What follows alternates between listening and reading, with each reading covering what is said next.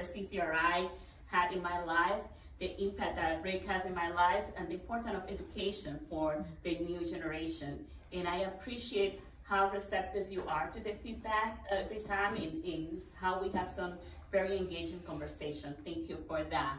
I also want to acknowledge uh, the uh, Representative McNamara. So we were on the phone earlier today. so and now I get to see you in person. I'm in Warwick. Thank you. Thank you. I'm glad to be here in Warwick with you. And um, so I, I, always go as a chairman or representative. So I don't know how many people follow the, the politics that close to understand one thing or the other. and uh, um, also Commissioner Gilkey, it has been a pleasure to work with you in the vision that you have for what we can do here in education in Rhode Island. I think we're in good hands. So thank you so much for what you're doing and how you're making the connection with the workforce. Both of you are making the connection with workforce. Thank you for, for what you're doing. I'm so honored to have this opportunity to say, first of all, to Sandy, congratulations. I know it has been a, a lot of work, a lot of hours that all of you have put together to make sure that this uh, Senate is a reality. And as someone that used to be um, in local government, I know that it's a lot of challenges to get all the parties together and to get to a point in which we are working in collaboration. But at the end of the day, that is the best way how we're gonna get results for the students. And this opportunity to have the faculty come together as a Senate to bring their, your, your perspective, working together with the administration. I know there are gonna be moments of challenge, but as long as you're all committed to the same purpose, and it's to do the, what is the best thing for the students of the state of Rhode Island and for the state of Rhode Island's residents, I know that you're all are going to be successful.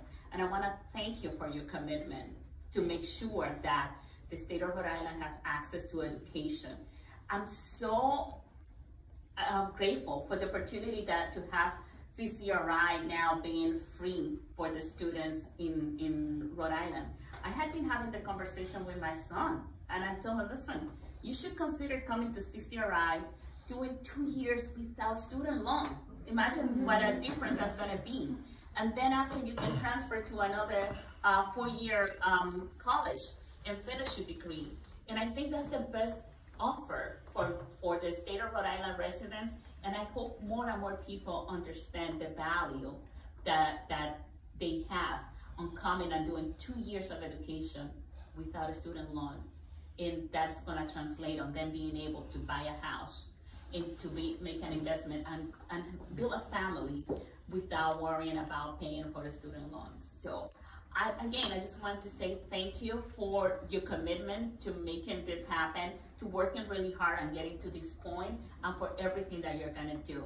And on behalf of the state of Rhode Island, I also brought a citation saying congratulations, which I would like to give as for the faculty. So I'll give it to Sandy, I'll give it to you. Uh, I just want to say congratulations to the uh, Community College of Rhode Island and the fact of founding your faculty senate and I'm so honored to be here to celebrate with you. Thank you very much.